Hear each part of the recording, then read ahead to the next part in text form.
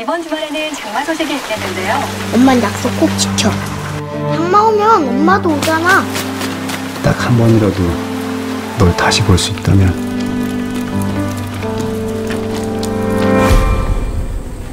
누구니? 기억은 안 나지만 궁금해서요. 나도 그쪽이 좋아서 결혼한 거 맞죠? 우린 고등학교 때 처음 만났고 나 혼자 당신한테 반했어.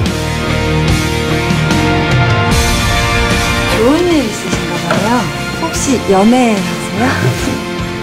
뭐지 이 수상한 분위기 너 여자 생겼지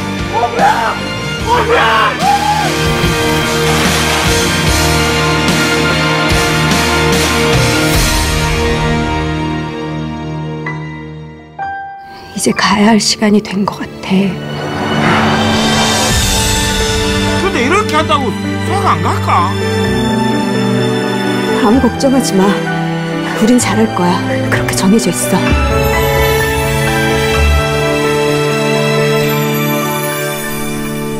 기다려주세요. 지금 만나러 갑니다.